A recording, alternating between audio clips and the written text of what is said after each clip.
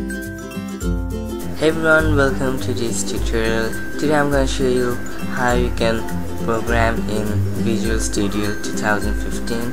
It's the Express Edition. You can download it from visualstudio.com. I made a video on it and you can just watch it. It's gonna be an annotation somewhere in the screen and that's how you can download it and once you download it the Express Edition I mean so what you have to do is click on file new project or you can just click new project here.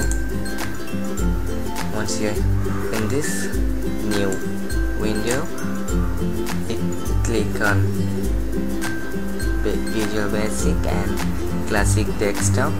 If it's not here it's gonna be hidden over here. So you click on Classic Desktop and Windows App Forms application change this to the name of your project and call it hello world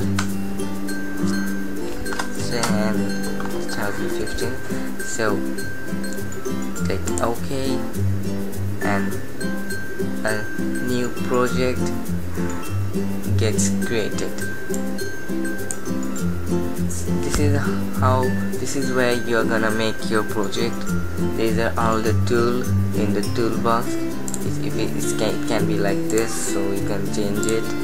And here are all the properties. This is the properties window.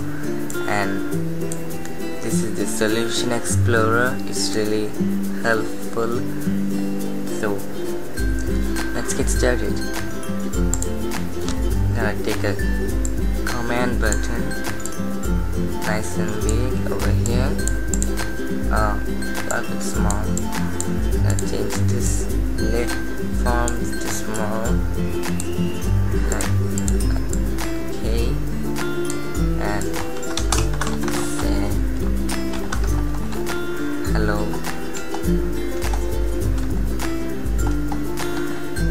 Hello because hello they every everywhere it's hello world. Everyone's first program. After you're done changing everything you start writing the codes. So you double click on the button and this is what comes. The form. One that we some codes already get generated from the beginning. You don't have to write them again but you do need them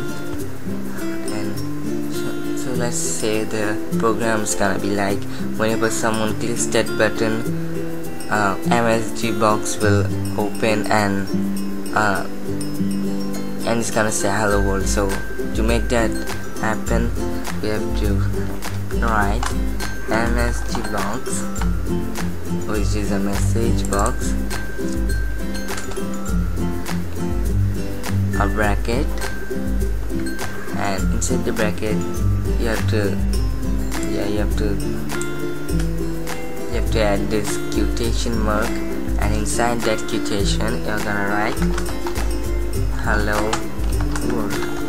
Everything you write here is gonna be in the message box. I, I think you got that. And so debug it.